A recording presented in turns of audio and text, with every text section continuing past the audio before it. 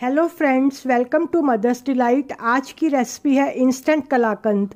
इसके लिए हमें चाहिए 250 ग्राम पनीर कद्दूकस किया हुआ 200 hundred M condense milk one tablespoon milk powder थोड़ा सा पिस्ता चॉप किया हुआ वन टीस्पून छोटी इलायची का पाउडर सबसे पहले इंडक्शन ऑन करके उस पर कढ़ाई गर्म करेंगे। अब इसमें पनीर डालेंगे, कद्दूकस किया हुआ पनीर डालेंगे। कंडेंस मिल्क ऐड करेंगे।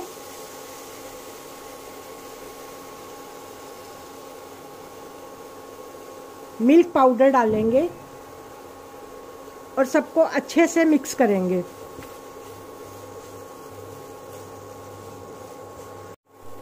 हमारा मिक्सचर बनकर तैयार हो गया है और इसमें गैस पर रखने के बाद ये तकरीबन पाँच मिनट में तैयार हो गया है। अब आप इंडक्शन बंद कर दें। तो उसके ऊपर पलट दें।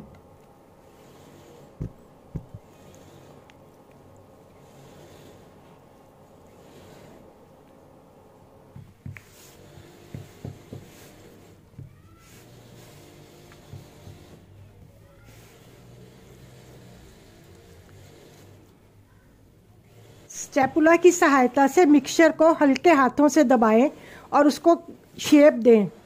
अब इसके ऊपर चॉप्ड पिस्ता जो था, वो छिड़क दें।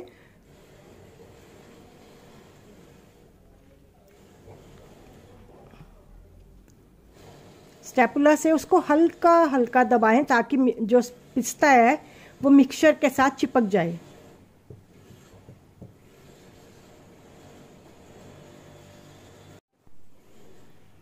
अब इसको आधे घंटे के लिए फ्रिज में रखें ताकि ये सेट हो जाए। अगर गर्मियों का मौसम है तो आप इसको एक घंटे तक भी फ्रिज में रख सकते हैं, ताकि हमें जब हम इसको काटेंगे, अपनी इसको काटेंगे तो ये आराम से एक किसी भी शेप में कट जाए। आधा घंटा हो चुका है, अब हम इसको काटेंगे।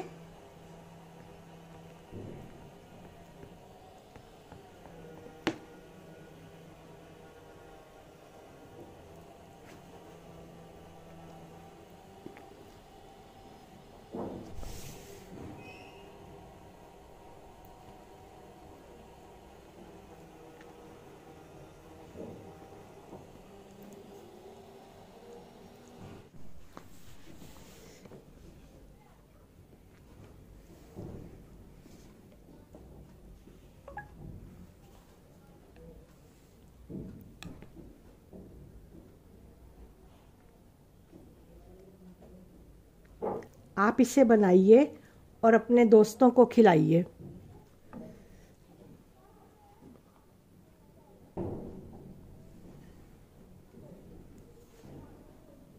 Enjoy bye bye